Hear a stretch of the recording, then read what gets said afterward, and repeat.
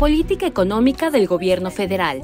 Como parte de la glosa del quinto informe de gobierno, los distintos grupos parlamentarios se pronunciaron sobre la política económica impulsada por el presidente Andrés Manuel López Obrador. La economía mexicana crecerá por encima de las proyecciones. No habrá crisis de fin de sexenio como las que había en los gobiernos neoliberales. El presidente Andrés Manuel López Obrador ha hecho posible un México con desarrollo inclusivo.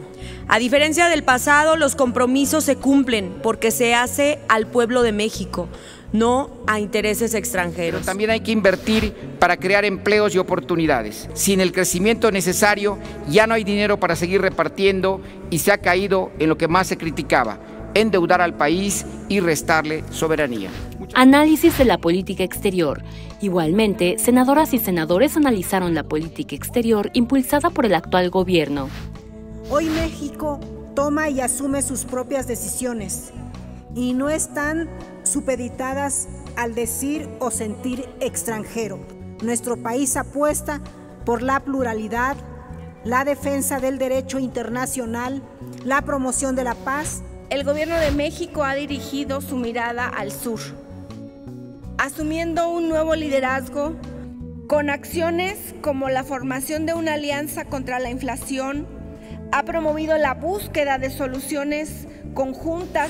En los hechos, se ha perdido prestigio y presencia activa de nuestro país, al negarse el presidente a acudir a foros y reuniones internacionales con jefes de Estado y no solo reuniones con líderes con los que el presidente coincide y se siente cómodo. Es indispensable un giro de timón a la política migratoria del Estado mexicano.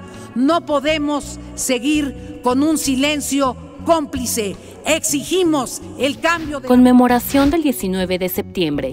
Las y los senadores se pronunciaron sobre los sismos de 1985 y 2017 y guardaron un minuto de silencio por las víctimas. Cada 19 de septiembre nos recuerda lo frágiles que somos. Eliminar el Fonden sin sustituirlo con algo mejor no es válido eliminar el Fonden y decenas de fondos y fideicomisos para financiar obras fastuosas e inútiles tampoco es. Este día es para honrar a las víctimas. ¿Saben por qué no creen los mexicanos y las mexicanas en ustedes? Porque jamás han sido solidarios con un pueblo.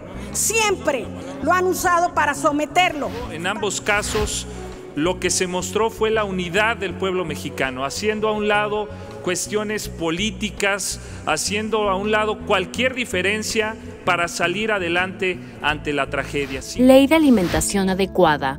Se aprobó el dictamen para expedir la Ley General de la Alimentación Adecuada y Sostenible, que busca garantizar el derecho a la alimentación nutritiva, suficiente y de calidad.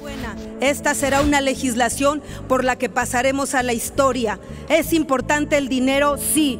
¿Es importante la energía? Sí pero más importante para la seguridad alimentaria y la vida de México es que el Estado garantice alimentos sanos. El acceso a la alimentación nutritiva, suficiente y de calidad, que es un derecho consagrado en la Constitución Política de nuestro país.